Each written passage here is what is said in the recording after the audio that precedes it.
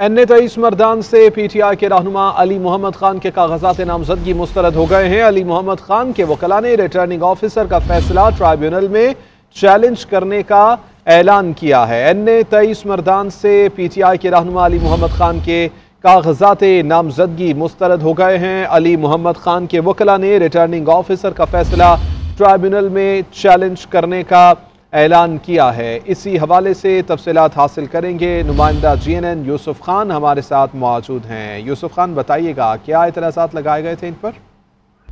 जी, बिल्कुल। तहसील तकबे में returning officer ने तहरीक इंसाफ के सबक नए अली मोहम्मद के कागजात नामजद की मुस्तरद कर दिए इन्हें तेईस पर के लिए कागजात नामजद की जमा करने वाले अली मोहम्मद खान नाम फाइनल लिस्ट में मौजूद नहीं। अली मोहम्मद खान पर मुख्तलिफ़ दफात के तहत मुकदमा दर्ज है। दूसरी जानब आई के वकला ने केस को चैलेंज करने का भी कहा गया है। जी।